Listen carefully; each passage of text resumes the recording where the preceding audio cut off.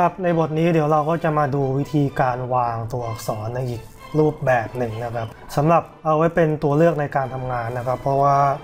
การวางตัวอักษรในบทที่ผ่านมาผมก็เสนอไปอีกรูปแบบหนึ่งนะครับ อันนี้ก็จะเป็นวิธีการอีกรูปแบบหนึ่งสามารถนำไปเป็นตัวเลือกในการใช้งานได้นะครับ เดี๋ยวมาเริ่มกันเลยดีกว่า อย่างแรกเลยมาดูที่ฟังก์ชัน move นะครับกดที่ฟังก์ชัน move ไป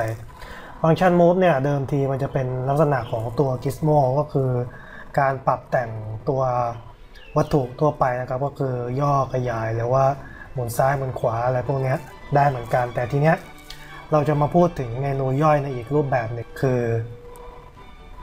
ให้คลิกที่รูปเฟืองตรงนี้นะครับตรงนี้เลยครับมันจะมีรูปเฟืองอยู่ ก็คลิกไปกดตึกทีหนึ่งทีนี้ปรากฏไปแล้วเนี่ยมันก็จะปรากฏเป็นฟังก์ชันย่อยๆอีกหลายอย่างเลย นี่ครับ ทีเนี้ยที่ผมจะพูดถึงอะคือตัวนี้ตัวเดียวนะครับ อันแรกแบนอาร์กอันนี้นะครับ ทีนี้ก็ลองกดไปตึกทีหนึ่งน่าเห็นนะครับ ตัว Gizmo เนี่ยที่เป็นวงกลมเมื่อกี้มันทีนี้เรามาดูว่ามันใช้ยังไง อย่างแรกเลยมาดูกันที่อันแรกนะครับ ตัวนี้รูปลูกศร สีส้ม สีขาวแล้วก็สีเขียว มาดูสีส้มมันก่อนนะครับ อันนี้เลย มาดูว่ามันใช้ทำอะไร เอาอันนี้นะครับ ลองเลื่อนดูเห็นไหมลองเลื่อนออกไป คือมันจะเป็นการขยายตัวข้อความเนี่ยให้มันให้มันกว้างขึ้นนะครับ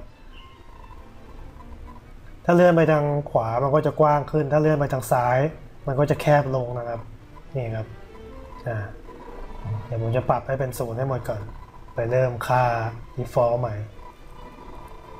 อ่าทีเนี้ยมาดูตัวด้านล่าง ตัวด้านข้างๆนี้นะครับ ก็เหมือนกันมันจะมีสีส้ม สีเขียวแล้วก็สีขาว แต่สีขาวเนี่ยถ้ามองด้านหน้ามันจะเป็นวงกลมนะครับ แต่ถ้ามองด้านข้างเนี่ยมันก็จะเห็นลักษณะเป็นนี่ครับลูกศรสีเขียวตึกนี่ครับมันจะเป็นการยืดยืดตัวอักษร ในอีกลักษณะหนึ่งที่เป็นเปอร์เหมือนกันคล้าย ๆ กับตัวบนเมื่อกี้นะครับ นี่ครับ แล้วถ้าเป็นสีขาวก็นี่ครับมันจะเป็นการยืดยืดขึ้นยืดลง ยืดไปข้างบนมันก็ยืดขึ้น ยืดลงล่างมันก็จะหดลงนะครับเดี๋ยวผมจะปรับให้เป็นค่า standard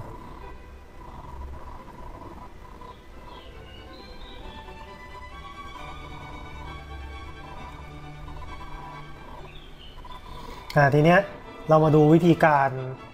ทำให้ตัวอักษรเนี่ยมันอยู่เข้ากับตัววัตถุด้านหลังนะครับในที่นี้ผมยกตัวอย่างรูปทรงกระบอกนะครับ อันนี้ทีเนี้ยเรามาปรับตัวอักษรที่อยู่ด้านหน้าเนี่ยครับให้โค้งตามรูปทรงกระบอกไป เพราะว่าบทที่แล้วผมก็แนะนำมาอีกวิธีหนึ่งนะครับ บทนี้ผมก็จะแนะนำอีกวิธีหนึ่งเอาไว้เป็นตัวเลือกในการทำงานนะครับ อ่าผมจะ ให้มันมองด้านบนอย่างนี้ก่อนจมไปนี่ครับแค่นี้เองครับวิธีง่าย ๆ ของการวางตัวอักษรในอีกวิธีหนึ่งก็ลองนำไปปรับใช้แล้วก็เป็นตัวเลือกในการใช้งานนะครับ เพราะว่าแต่ละรูปแบบมันก็มีวิธีใช้ที่ต่างๆกันนะครับ จากบทที่แล้วที่ผมแปลงให้เป็นอักษรเป็นหัวบัตรก็ใช้ได้เหมือนกัน แล้วก็บทนี้ผมก็ใช้วิธีการกิสโมก็ใช้ได้เหมือนกันนะครับ ก็ลองไปปรับใช้กันดูนะครับ